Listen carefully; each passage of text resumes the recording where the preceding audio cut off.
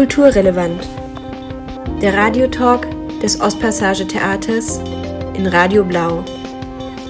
Heute im Gespräch mit Theatern in Leipzig. Unter anderem Neues Schauspiel Leipzig, Theatrium Leipzig und Kammerspiele. Mit Musik von Oluma.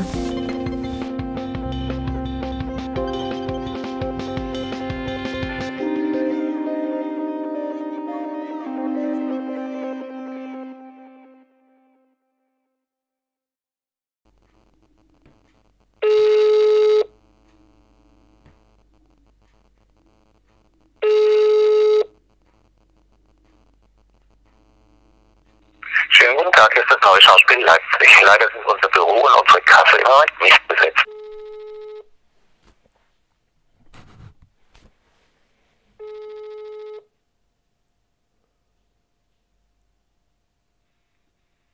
Moin, moin.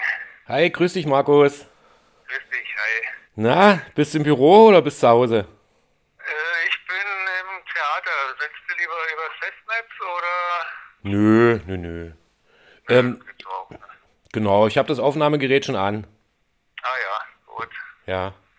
Muss ich jetzt aufpassen, was ich sage. So ungefähr. okay, du sagst, du bist im Theater. Gibt's da noch was zu tun, ja? Wir haben doch Kulturlockdown. Ja, naja, zum einen also wir haben genug Büroarbeit noch zu erledigen mit äh, wieder neuen Anträgen und alles durchforsten. Was Hm. gibt es jetzt noch für Möglichkeiten? Was gibt es wieder für Gelder? Und äh, ein paar von den älteren Geldern, jetzt, was man noch bis Dezember noch beantragen kann, das muss noch fertig gemacht werden. Also ist man schon noch beschäftigt. Hm, Der übliche Jahresende-Schissel auch irgendwo, Ja, ne? genau, Steuer und so ein Kram, das muss ja eh alles gemacht werden. Ja.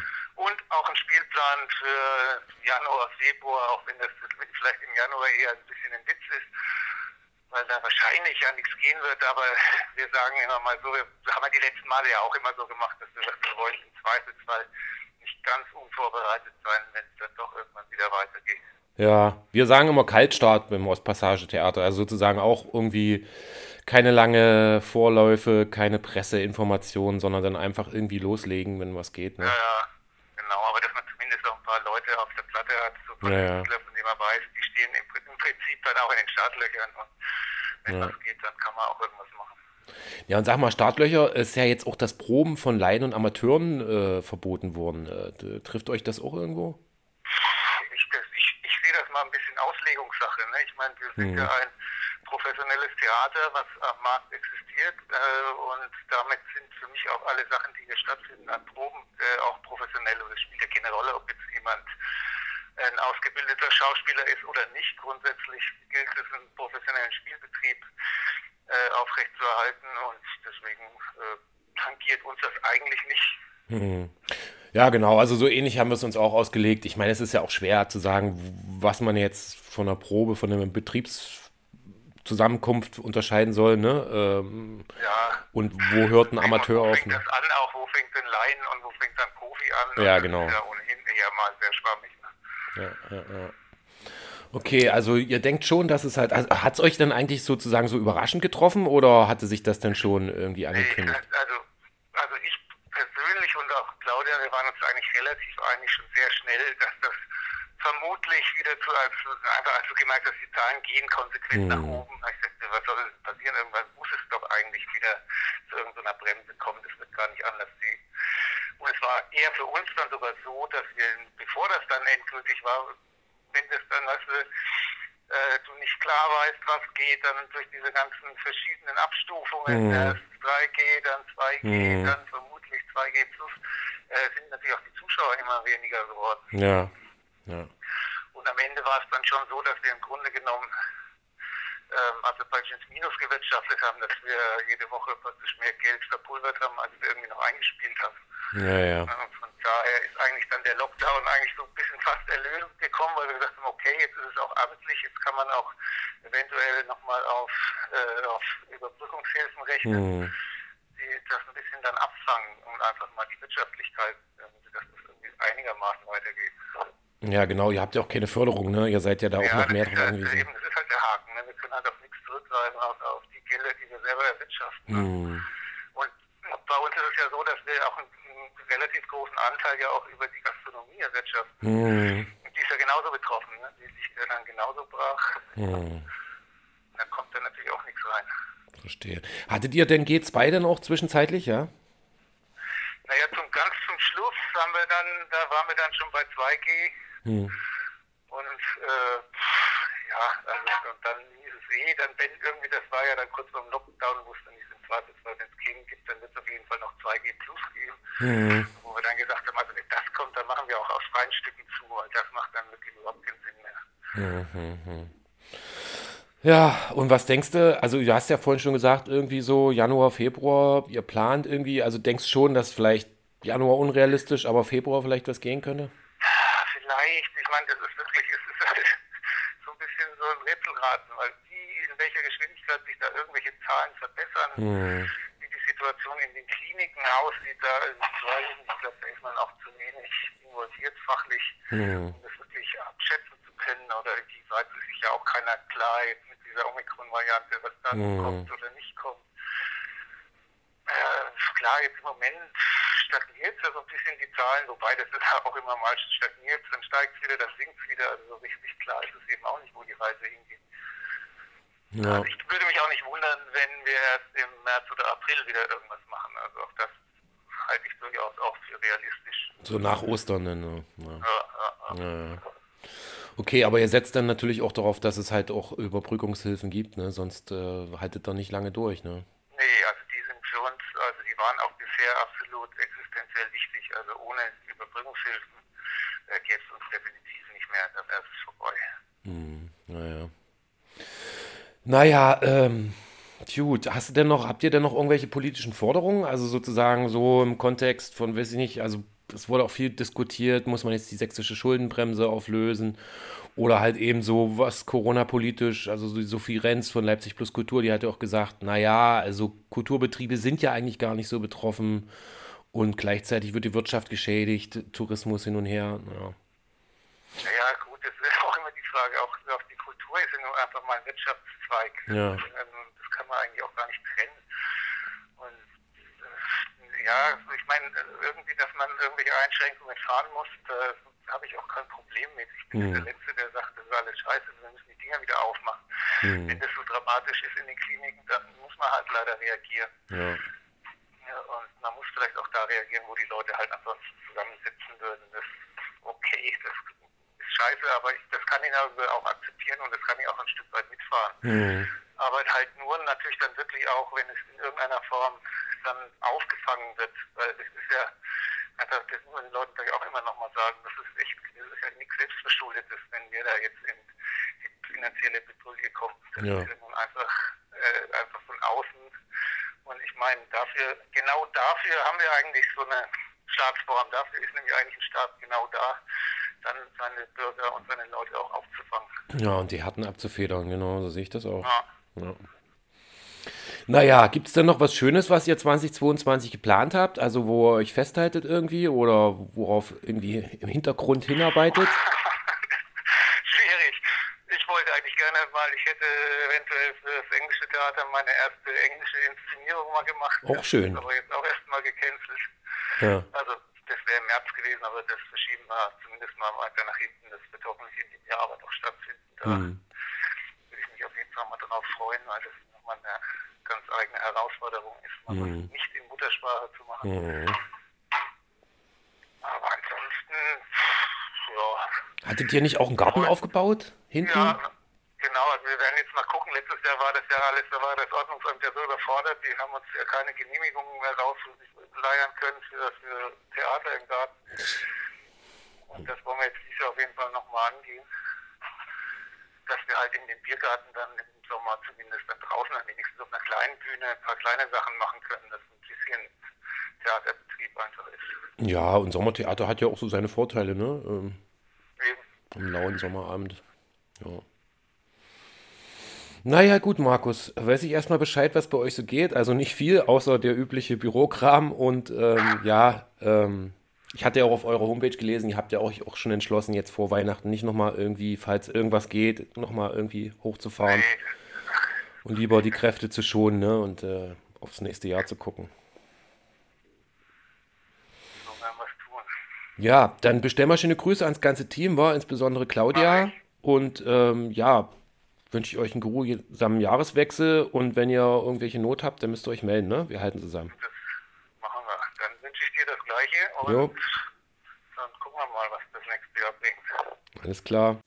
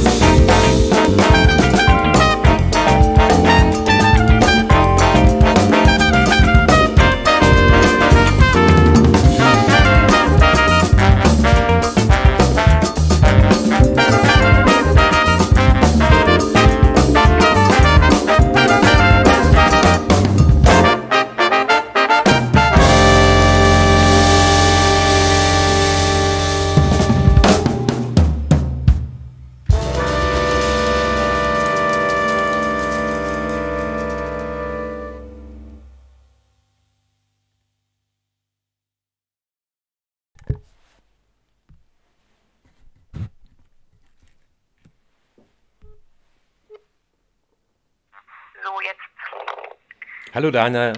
Hi, schön, dass es klappt. Ja, ähm, das Aufnahmegerät läuft schon, ne? Ah, na dann, los geht's. Ja.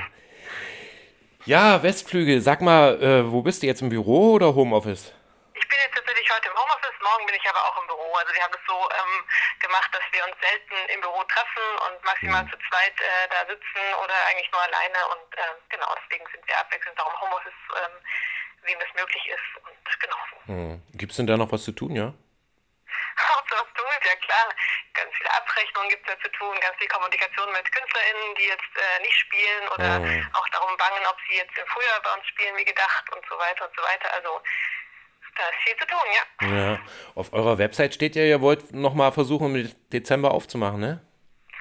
Naja, also äh, da, das glauben wir nicht, dass wir das können, aber ähm, wir Hm. veröffentlichen jetzt nicht das, was ausfällt, bevor es nicht offiziell abgesagt wird vom Okay. Freistaat. Also wir machen da nicht vorauseilende Aktionen, sondern ähm, ja, aber wir gehen natürlich nicht davon aus, dass das jetzt stattfinden kann. Das ist jetzt natürlich so naiv sind wir auch nicht. Hm.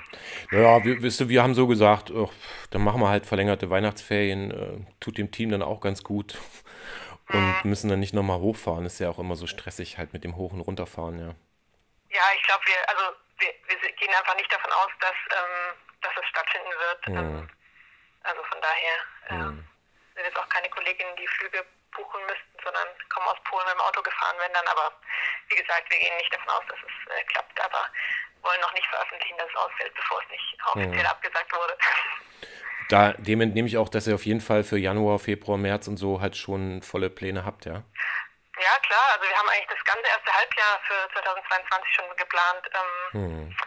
Das ist natürlich jetzt alles, ähm, ja, liegt in den Sternen. Ich glaube, das ist auch das, was uns momentan am meisten belastet, dass es ähm, wieder keine langfristige Planung möglich Hm. ist. Also, ähm, ja, das ist einfach sehr ärgerlich und man kann eben nicht so in diesem zwei Wochen oder vier Wochen Rhythmus leben. Also das ist irgendwie das Belastende so für uns als Haus und auch so für die Kommunikation mit den KünstlerInnen ist halt irgendwie auch ähm, frustrierend, dass man denen nicht einfach langfristig sagen kann, ja, es findet statt oder es findet nicht statt. Ja, auf jeden Fall. Wir hatten auch eine äh, Produktion, die jetzt schon letztes Jahr im November und dieses Jahr im November wieder halt in den Lockdown, in den Kulturlockdown getappt ist und ähm, ja, die sind schon echt arg gebeutelt. Ja, total. Also es ist halt auch ärgerlich, dass bei uns jetzt schon zum zweiten Mal auch teilweise dieselben Sachen ausfallen. Also Naja, eben, Schieben wir so vor, immer weiter, immer weiter und es, es wird irgendwie nie stattfinden. Das ist furchtbar. Ja, ja, schrecklich.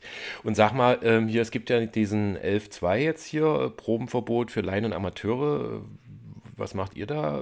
Geht's bei euch, ist bei euch total Lockdown oder gibt es auch Proben? Also bei uns wird es Proben geben. Wir sind ja weder Laien noch Amateure, deswegen betrifft es uns nicht. Hm, genau, ihr habt das auch so ausgeschlossen. Genau. Ja, die anderen, mit denen ich so telefoniert habe, haben, sind, haben natürlich so verschiedene Grenzformate, aber ja, ist ein schwieriger Passus, äh, finden wir, weil auch, wo hören halt Amateure auf, ne? Wo fangen Profis an und was ist eigentlich eine Probe? Naja, gut, da haben alle Häuser, so- Häuser so ihren Umgang gefunden, glaube ich. Also ihr macht da auch einfach, bereitet euch da vor, ne? Das ist ja auch klar. Ich meine, wie will man denn auch kurzfristig hochfahren, wenn es auch keine Proben gibt, ne? Ja, genau. Ich meine, das meiste, was jetzt bei uns stattfindet, findet, sind ja auch sowieso Gastspiele. Das heißt, Ja. die proben im Idealfall sowieso nicht jetzt vorher bei uns. Also wir haben jetzt auch jetzt die, die, die nächsten Monate auch käme jetzt auch keine Premiere. Das heißt, ähm, es werden Stücke, die alle schon existieren und maximal so zwei Tage vorher nochmal so eine Wiederaufnahme bei uns machen. Aber wie gesagt, das, da das uns nicht betrifft mit den Amateuren und Laien, äh, ist es uns jetzt, war bis jetzt keine Frage. Ist natürlich aber auch ein komplexes Thema für die Leute, die es betrifft, klar. Ja. Ähm, Verstehe ich. Genau. Und sag mal so, äh, mit den Einlassstrukturen, hattet ihr da auch äh, G3, G2 oder irgendwas? Also wir hatten jetzt ganz zum Schluss G2, ähm, davor, solange wir durften, äh, G3, also 3G und wir hatten auch im, im Saal ähm, immer Abstand, beziehungsweise wenn der Abstand ein ähm, bisschen verhindert wurde, dann Maskenpflicht permanent im Saal. Das hat, es hat auch alles gut geklappt. Also ich finde, das macht halt auch noch ein bisschen mit ärgerlicher, dass jetzt diese ganzen Hygienestrukturen jetzt bei uns so gut ausgebaut waren Ja. mit einem enormen Mehraufwand und es wird einem irgendwie aber nicht gedankt. Das ist also ein bisschen ärgerlich, ähm, also das ist nicht ein bisschen ärgerlich, das ist sehr ärgerlich. Ähm, Hm. Und wir, wir stehen gar nicht so kritisch den, der Schließung jetzt bei den Zahlen in Sachsen gegenüber. Also das ist jetzt nicht grundsätzlich so, dass wir nicht einsehen, so, okay, die Zahlen sind wirklich sehr, sehr hoch, Ja. aber wie halt jetzt vor allem nur die Kultur wieder geschlossen wurde, das finden wir halt wirklich äh, erstaunlich und dass sich da einfach im Vergleich zum letzten Jahr nichts verändert hat und obwohl es Studien gibt, äh, dass in Theatersälen die Ansteckung jetzt nicht äh, passiert, ja. ja. Ach, das, das ist das alte Lied. Das alte Lied einfach, die machen Kontaktreduktion, ne? Ähm, und da wird halt der Kultur ein bestimmter Prozentsatz zugeschrieben und dann wird halt reduziert. Aber es wird halt nicht differenziert zwischen gefährlichen Kontakten und ungefährlichen Kontakten, ne? wo halt die Studien alle sagen, ja, im Kulturbereich ist eigentlich so gut wie nichts bekannt geworden. Ne? Ähm, ja. Klar, und ich, ich verstehe es halt auch schon nicht so richtig, dass der Einzelhandel halt quasi schon noch, also klar, unter mhm. Auflagen und so weiter, aber halt offen bleiben darf. Also ich hätte es voll okay gefunden, wenn wir auch einfach noch strengere Maßnahmen von mir aus oder nur mhm. 30 Leute. Also wir, sind ja wirklich auch mit wenig zufrieden an der Stelle. Ähm, wo es halt jetzt auch nicht zu Massenansammlungen kommt, bei uns ja sowieso nicht. Ähm, so ein großes Haus sind wir ja gar nicht. Ähm, also im, zu Nicht-Corona-Zeiten passen bei uns so 100 Leute auf die mhm. Tribüne. Ähm, ja, so groß wie wir und, auch, ja. Ja, und das, das ist halt irgendwie so, so ärgerlich, dass da halt immer noch so ein, die Kultur halt einfach so schneller weggewischt wird als alles andere. Ja. Und dass es da auch keinen Aufschrei gibt so in der Gesellschaft, das ja. ärgert mich ehrlich gesagt auch. ja, Sophie meinte halt auch, ne, ähm, Sophie Renz hier von Leipzig ja, Plus Kultur, dass halt die Kultusministerin einfach ein, eine schlechte Lobbyistin der Kultur ist, ja. Da hängt ja auch ja. noch der Tourismus dran und ja, ja genau, gerade die kleinen Bühnen, ne, ähm, wo du sagst, da hast du ein kontrollierbares Geschehen, du hast die Kontaktnachverfolgung und alles, ja. Äh, ich ja. überlege, wie viele tausend Listen wir äh, monatlich immer verbrennen. ja, ja, ja. Gut, aber gut, wir müssen uns arrangieren. Habt ihr denn äh, irgendwelche tollen Pläne ähm, für 2022? Irgendwas, was ihr jetzt so äh, mit ein bisschen mehr Atem vorbereiten könnt, oder? Also ehrlich gesagt haben wir jetzt die, so, so, tolle Pläne wie immer. Also wir haben halt eigentlich ja das, das ganze, das ganze Jahr mehr oder weniger schon vorgeplant. Also sagen wir, die erste Jahreshälfte ist fester geklopft schon als die zweite, aber mhm. ähm, da ist auf jeden Fall haben wir viel vor. Wir haben auch ähm, ein, großes äh, ein, ein Showcase wieder vor, wo, den, wo wir auch internationale Gäste zu einladen natürlich und das Sommerfest wird wieder stattfinden und natürlich viele Gastspiele und auch äh, einige Premieren, die bei uns äh, stattfinden werden und ähm, auch ja Figurentheater, Koryphäen, äh, aus, äh, internationale sozusagen, die wir einladen. Aber das ist jetzt quasi nichts Besonderes für das Jahr 2022. So sehen unsere Jahre normalerweise auch aus. Also es ist jetzt nicht speziell was äh, noch tolleres für 22 geplant, würde ich sagen. Es ist so toll wie immer geplant und wir hoffen, dass auch vieles davon stattfinden kann natürlich. Ja, mal schauen. Ähm, ich weiß nicht, wie pessimistisch ihr das seht, ähm, wann ihr wieder aufmachen dürft, aber jo, ich persönlich sehe da gerade, äh, ja, sehe es gerade nicht so positiv und ähm, Was sagt dein Bauch? Aus irgendwie, dass wir den Januar nicht aufmachen dürfen. Ja, okay. Ja. wahrscheinlich sogar noch länger, denke ich jetzt irgendwie mal so miesmacherisch, aber ja, weiß nicht, wie es euch da geht. Bei uns auch so, ja, großes Team und sehr unterschiedliche äh, Zugriffe auch aufs Thema und äh. Ableitungen. Ja, wir haben die neue Variante, ne? wir haben den Impffaktor. Manch, manche, manche sagen, es gibt keinen Grund, warum der Winter nicht so laufen sollte wie der letzte. Und ja, pff, schwer ja, zu sagen, ja. wirklich. Ja. Ich weiß noch nicht mal, ob wir nicht vielleicht doch wieder ab Mitte Dezember aufmachen können, weil, sag ich mal, das neue Bundesinfektionsschutzgesetz, äh, das muss ja auch erstmal juristisch durchdrungen werden in Sachsen und dann, dann, dann müssen wir erstmal gucken, was da, da für Regelanpassungen kommen, ja. Hm, ja, klar. Ja. ja. Schauen wir mal. Ja, spannend, spannend, spannend. Gibt es denn noch politische Forderungen bei euch aus dem Haus, also ähm, Richtung Kulturpolitik, äh, Rathaus, äh, Landtag? Ja, na klar, ich meine, die Forderung nach, wie ich vorher schon im Prinzip gesagt habe, einfach danach die Kultur ähm, genauso ernst zu nehmen wie den Einzelhandel auch und die anderen äh, Sachen, die geöffnet bleiben dürfen. Ähm, natürlich auch einfach um eine Langfristigkeit, also eine Längerfristigkeit, eine Planungssicherheit. Das ist halt irgendwie das, was wir eigentlich fordern. Ähm, ich weiß, es ist rechtlich irgendwie schwierig, da für länger mhm. zuzumachen, aber letztendlich ist es für die Planung eigentlich angenehmer. Wenn wir jetzt wissen, okay, wir dürfen vor, was weiß ich, vor März nicht mehr aufmachen, dann wissen, könnten wir wenigstens da irgendwie Kraft in diese Zeit investieren. So ist es immer so ein Nachhecheln da der, der Wiederöffnung. Ich weiß auch nicht, ja. Das sind, glaube ich, so die Forderungen, hm, die wir gerade haben. Hm, ja.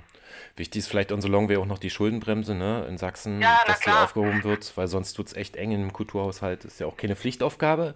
Das wäre natürlich auch so eine spannende Geschichte. Ist Kultur eine Pflichtaufgabe äh, des Staates und der Kommunen oder ist es halt nur sozusagen so, was man sich eben so leistet in guten Zeiten?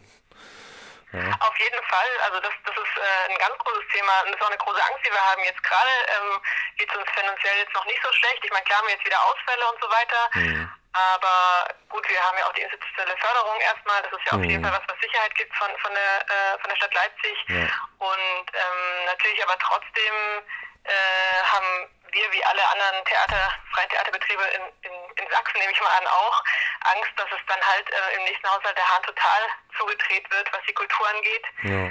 Und das wäre natürlich extrem bitter, weil wir eigentlich, also auch gerade in Leipzig, so eine vielfältige Landschaft sind und ja, das halt auch eigentlich, also wenn es dem Ministerium um Kultur und Tourismus geht, ist dieser Faktor äh, Kultur ja auch äh, mit dem Tourismus verknüpft. Also ich denke, da mh, hm, sollten die ein bisschen besser hinschauen eigentlich. Genau, das denke ich auch, diese noch stärker halt Kultur- und Wirtschaftsförderung zu verzahnen, ne? Ähm, genau ja. an dieser Schnittstelle. Das ist auch so eine spannende, spannende Idee. Du, äh, schönes ja. Gespräch, ich danke dir. Ähm, danke dir. Habt ihr noch eine Weihnachtsfeier oder macht ihr das per Zoom oder irgendwas? Da sind wir gerade noch am Plan, weil wir auch ähm, zum Beispiel ähm, unseren ähm, Öffentlichkeitsarbeiter Matthias Schiffner jetzt in den wohlverdienten Ruhestand äh, entlassen oh. und äh, wir dann auch schauen, wie wir ihn verabschieden. Ja. Ähm, wahrscheinlich planen wir so eine Art Spaziergang und dann nochmal online irgendwie eine Spielerunde oder sowas. Aber jetzt, wir machen keine betriebliche Weihnachtsfeier oh. mit Treffen vor Ort. Nee, das ist, glaube ich, nicht sinnvoll zurzeit. Okay, aber es klingt auf jeden Fall nach noch einem schönen Plan zum Jahresende fürs Team. Ne? Genau. Äh, ich wünsche euch auf jeden Fall viel Spaß. Äh, bleibt schön Danke. gesund, rutscht gut rein und dann nächstes Jahr greifen wir wieder gemeinsam an, ne? Für die Kultur. So machen wir es, ja. Alles Gute euch auch ans OPT. Danke, danke. Dank. Ja, tschüss, Dana. Ciao. Mach's gut, tschüss.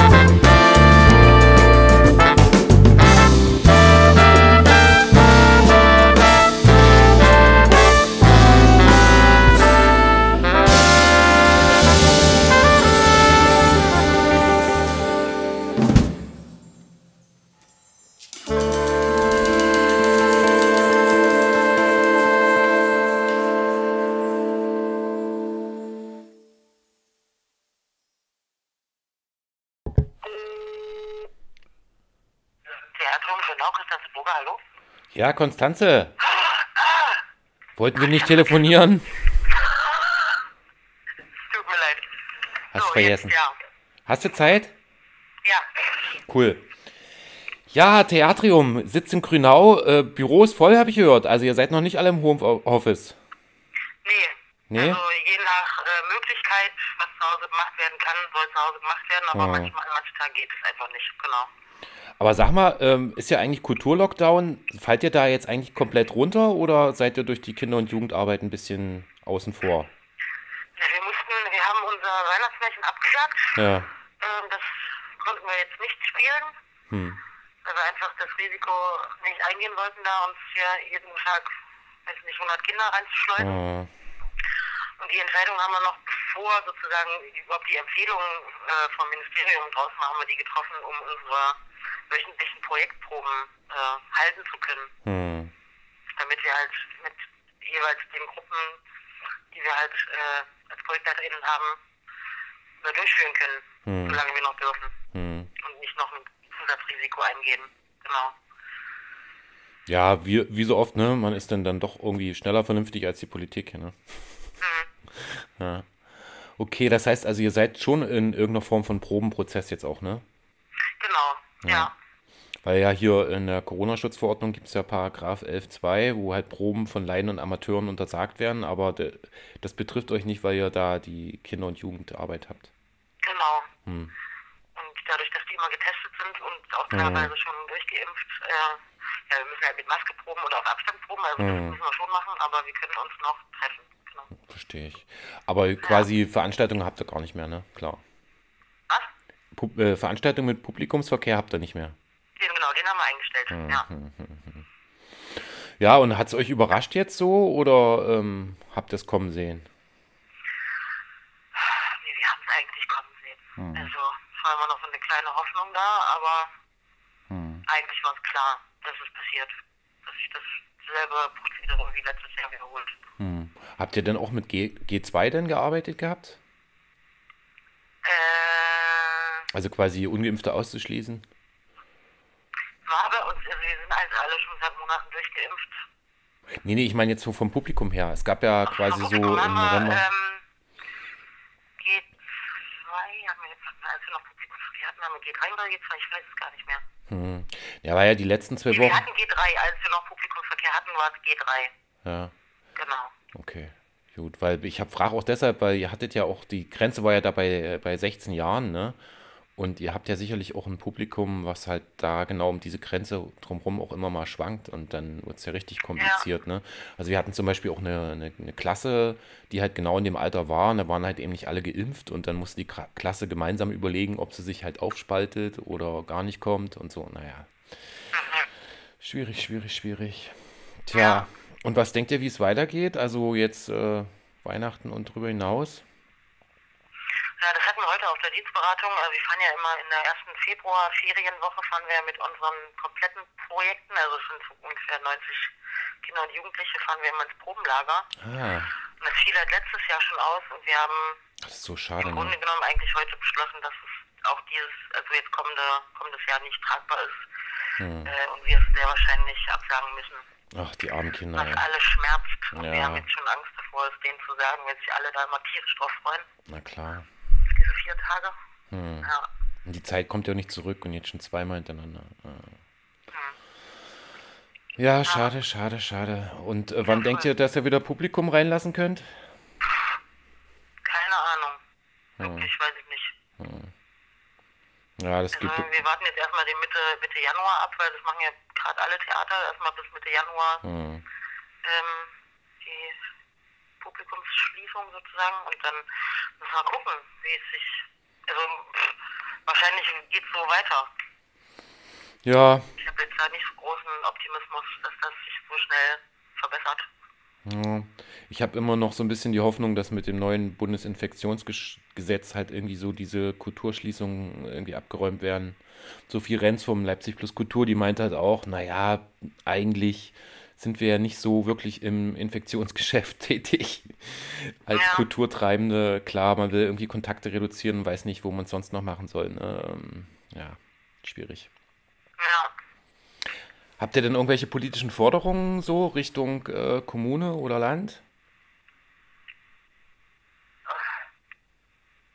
Weihnachtsgeschenke. Hm? Weihnachtsgeschenke.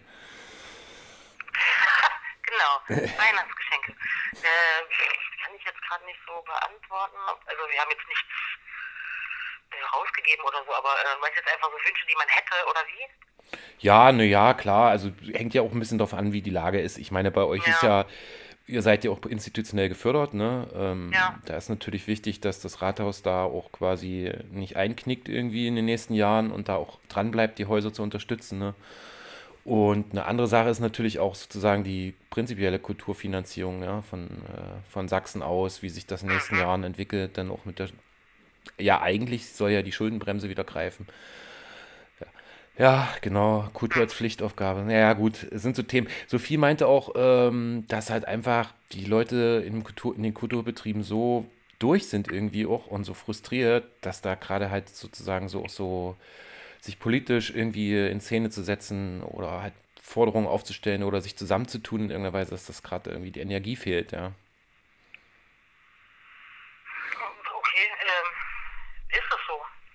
Meinte sie ja. jetzt sicherlich auch aus ihrer persönlichen äh, Brille so. Ja, ähm, ja. Weiß nicht.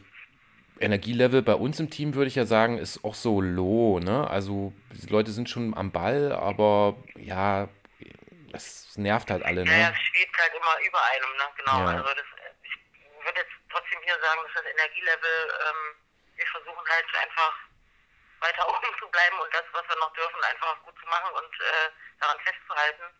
Deswegen ist hier eigentlich noch eine, noch eine ganz gute Stimmung. Ja. Das sah auch mal anders aus vor ein paar Monaten. Ja.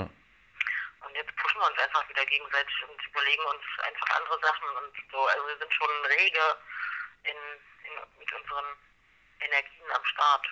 Schön. Eigentlich. Und habt ihr denn irgendwas vor 2022, worauf man sich freuen kann? So? Naja, ja, am meisten halt, dass die Projekte zu ihren äh, Premieren kommen, die hm. schon jetzt dann im Frühjahr diesen Jahres gewesen wären. Hm. Ähm, dass das irgendwie einen guten Abschluss findet und äh, ja, die ganzen Kinder- und Jugendprojekte halt, das ist so das, was so das Highlight sein soll. Hm, hm, hm. Plant ihr im Sommer irgendwie großen Theatersommer oder Festival oder irgendwie Sommertheater oder so? Nee. Nee, das machen wir nicht. Wir haben nicht ein Sommertheater. Wir haben halt immer so ein Sommerfest, hm. wo dann auch nochmal was präsentiert wird, je nach Zeit. Hm. Aber so Spielen im Sommer machen wir gar nicht und auch nicht, nicht für Riesenfestivals, nee. Hm. Ja, wir haben es dieses Jahr gemacht, aber es war halt auch sehr anstrengend fürs Team, ne? Weil im Sommer will man ja dann doch mal hier und da wegfahren und so und ja, Familien ja. und ja. Naja, gut, ähm, aber Sommerfest, das nehme ich mal mit, ne? Ähm, sagen wir auch nochmal allen Grünauern Bescheid und Grünauerinnen. Ja. Äh, geht zum Sommerfest vom Theatrium, äh, holt euch ein bisschen Kultur ab. Äh, in diesen Zeiten ist es rar gesät. Ähm, ja, ich wünsche euch ansonsten, dass ihr einigermaßen gut rüberkommt, ne? Ja, das ist bald, auch, auf jeden Fall. Ja. Dann sehen wir uns vielleicht mal hoffentlich wieder irgendwann. Kann man nur hoffen, ne? Wenn ihr dann ja. eine Produktion habt, äh, dann meldet euch, wa? Ja. Alles klar. Na dann, Bestes ans Team und wir sehen uns dann. Ja, bis dann, Daniel. Ja, tschüss.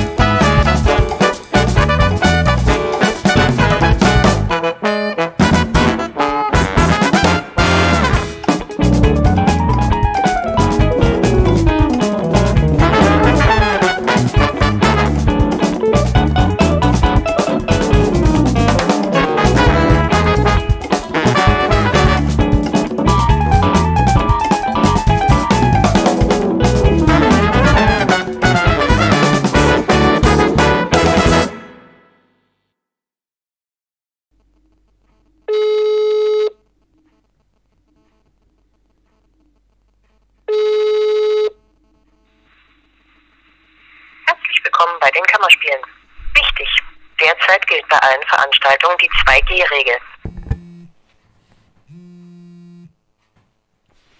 Ja, Sophie. Aha. Ja. Ja, Sophie, du bist nicht im Büro, sondern im Homeoffice, habe ich gehört von Christoph.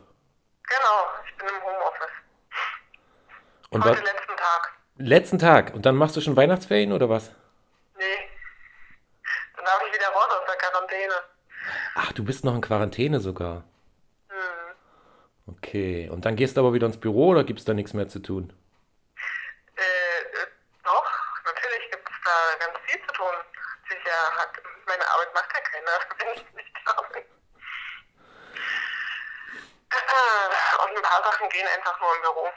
Hm. Ja, ja, genau, so geht's uns ja auch. Das ist halt einfach alles ein bisschen bescheuert. Vor allen Dingen jetzt zum Jahresende, ne? Ist immer so viel Krimskrams. Ja. Also meine Solidarität gegenüber den Ungeimpften ist äh, nicht größer geworden, sage ich mal so. Ja, wo ich mir, weil ich mir immer frage, warum man immer so böse gegenüber Kindern ist. Das ist ja wohl der größte Teil der Ungeimpften. Oder? Ähm, ja, wobei ich mich jetzt tatsächlich nicht bei meinem ungeimpften Kind ähm, angesteckt habe, sondern einfach tatsächlich irgendwo in der weiten Welt, Hm. hier in Leipzig irgendwie. Ähm, naja, egal. Aber du Ich bin bist, jetzt jedenfalls froh, dass ich äh, geimpft bin und dadurch wahrscheinlich auch einen sehr milden Verlauf hatte und es halt nur gegenüber tatsächlich äh, meiner ungeimpften Tochter ziemlich ungerecht, weil die die ganze Zeit zu Hause hocken muss. hm. Ähm, und das natürlich eigentlich total bekloppt ist, weil wir hier ja dann auch getrennte Räume und äh, getrennt essen, getrennt kochen und keine Ahnung was. Das ist alles ziemlich bekloppt gewesen.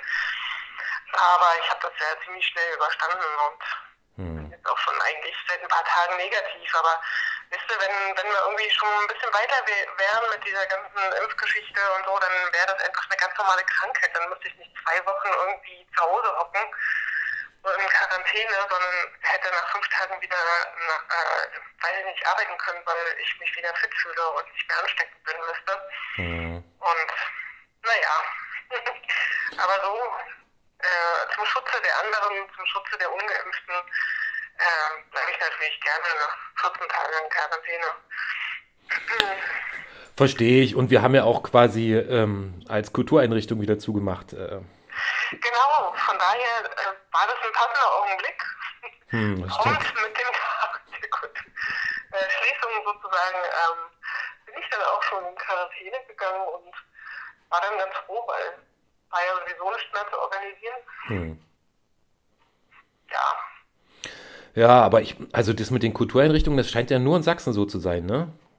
Das ist nämlich genau das Fiese, dass irgendwie man von den anderen immer so hört, ja, und ich hoffe, dass es noch stattfinden kann und mit 2G plus und mit 2G und ähm, und dann denke ich mal so, äh, Leute, denkt ihr auch mal an uns, bei uns findet schon seit drei Wochen nichts mehr statt. Ja. Ähm, ja.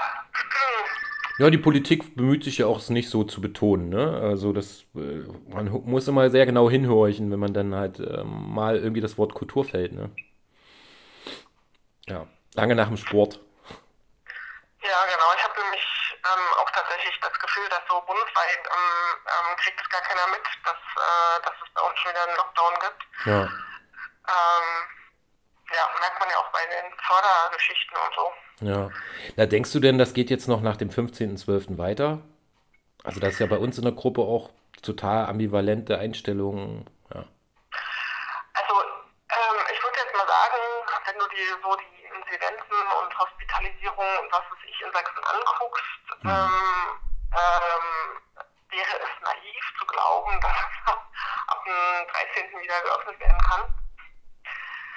Ähm, ähm, also so, ich habe jetzt auch so mit ein paar aus der aus der aus der Das ist Leipzig Runde auch so gesprochen, wo ja auch die die äh, Clubs und Musikspielstätten mit drin sind. Und die haben schon gesagt, na, den Winter können wir vergessen. Wir öffnen frühestens im März, vielleicht auch erst wieder im April. Und dann müssen wir gewappnet sein und müssen Strategien haben für eine gesicherte Öffnung. Und da habe ich gesagt, ey Leute, könnt ihr euch wirklich nicht vorstellen, dass man vielleicht wenigstens im Februar wieder öffnen kann? Also die Zahlen müssen, also irgendwann muss ich das doch mal wieder, also muss ich das doch bemerkbar machen, diese Kontaktbeschränkung. Ja, nicht nur das, auch die Durchseuchung. Also sozusagen, manche Leute sagen ja, die Welle begrenzt sich irgendwo auch selber. Ich meine, wenn das Virus nicht mehr genug Leute findet, dann. Ja. Ich, also ich, ja, es ist halt leider, es ähm, bringt ja jetzt offensichtlich diese Kontaktbeschränkungen in den letzten äh, drei Wochen, oder wie lange haben wir es jetzt schon? Zwei drei Wochen, Wochen ja. Seit 19, zwei, äh, genau, seit zwei Wochen ist das ja so. Und ähm, irgendwie macht sich das nicht so richtig bemerkbar. Also mm. es ist ja auch ähm, im Prinzip tatsächlich dann auch wieder auffällig, dass also die Schließung der Kulturbetriebe bringt nichts. Deswegen hat, hat uns das ja eigentlich auch sehr, also ziemlich so eiskalt erwischt, habe ich ja. das Gefühl.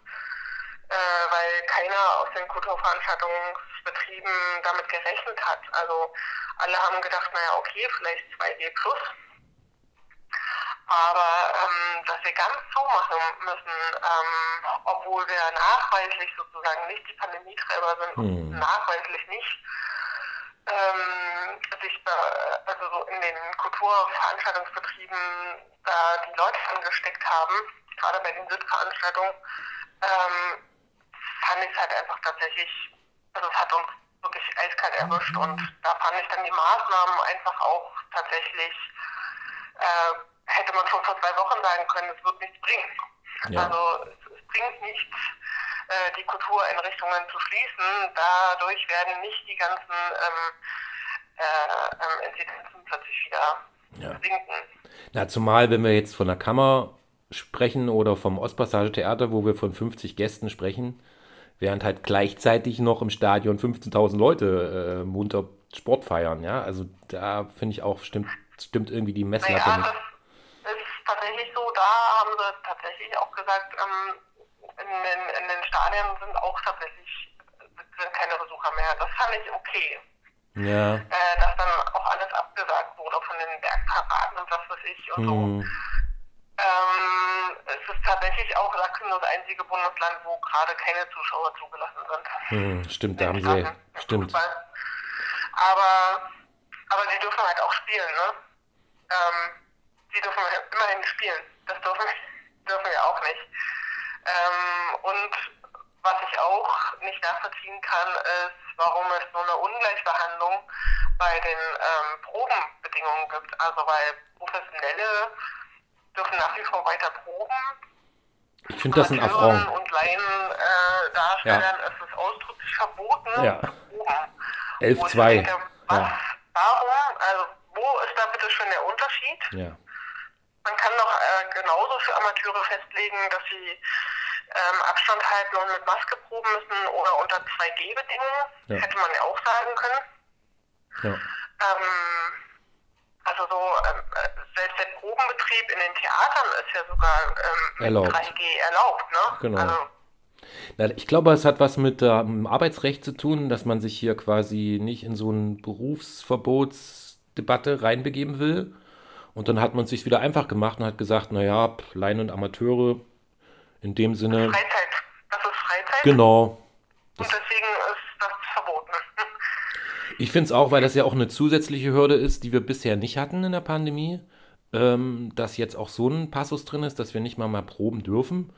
Ähm, wir haben das jetzt aber, muss ich sagen, auch für uns im Laden gewissermaßen ausgelegt, weil wir auch sagen, wo fängt eine Probe an, wo hört eine Probe auf, wo fängt ein Laie an, wo hört ein Amateur auf. Also so einfach genau. Ist das ja nicht. Und ich vermute auch, dass das eine Formulierung ist, die jetzt mit dem neuen Infektionsschutzgesetz ab 15.12. noch verschwinden wird aus der neuen Corona-Schutzverordnung. Ich hoffe es zumindest.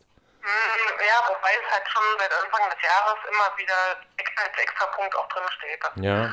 Amateuren und Laien ähm, Musik äh, Musik und Musikgruppen und Theatergruppen ist es verboten. Da steht schon und länger drin, ja? Das steht schon relativ lang drin, genau. Also entweder, dass es verboten ist oder ähm, ähm, es stand dann explizit auch drin, dass es denen erlaubt ist, wieder zu proben. Hm. Das war kulturrelevant. Um das ganze Interview mit Sophie Renz von den Kammerspielen Leipzig zu hören, besuch uns doch im Internet www.ost-passage-theater.de.